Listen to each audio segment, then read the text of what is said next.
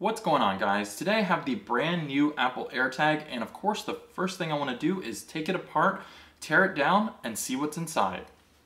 So these AirTags by Apple are really neat. You can place these on your keys, your backpack, your luggage, anything that you lose easily. And basically it's a tracker where you can find it with your iOS device.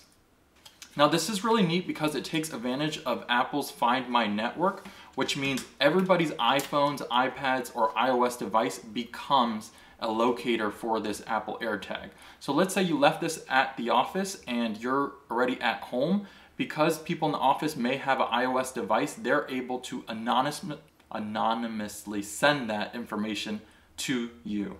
So let's go ahead, tear it apart, and as soon as you peel this piece out of the Apple AirTag, it automatically pairs with your phone.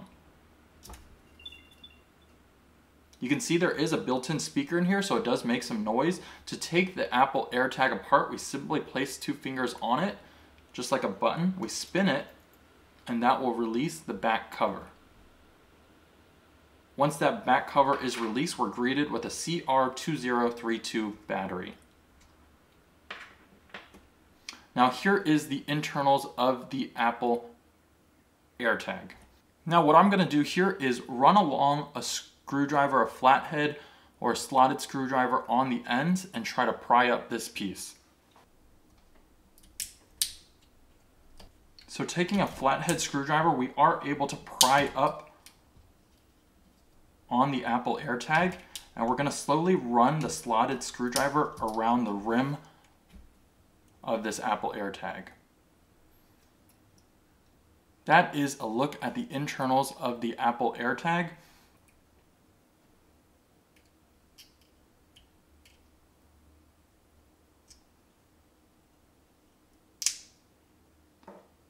In the center of the AirTag, I think this is here the speaker, and then we have an antenna coil right here, as well as possibly the NFC antenna.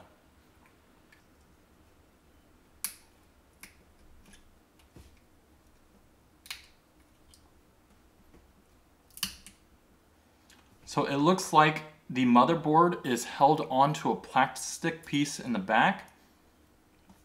And there goes possibly another antenna or NFC coil.